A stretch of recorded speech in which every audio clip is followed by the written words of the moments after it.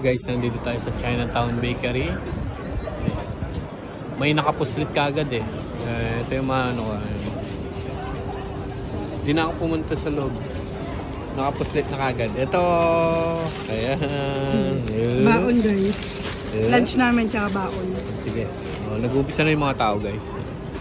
Yeah. Ayun. Uh, Ah, tara na. bye! Ano pa?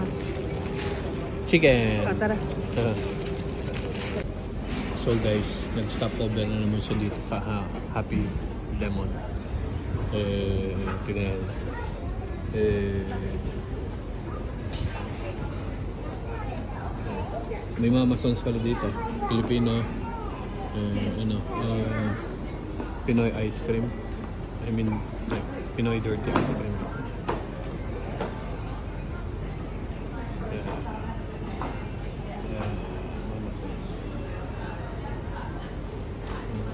Ah, ano na naman yan? Order na inumin.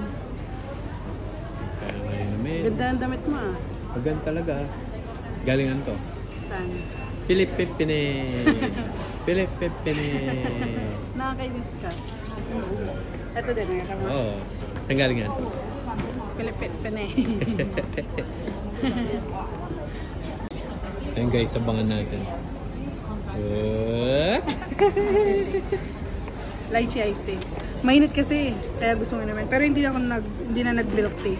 Kasi alam mo na, sasakitan siya. oh, sige, tara. Next stop over kami. Tara. Manok. Manok naman. Sa ano? Manukan. Manukan. Bye guys. Bye.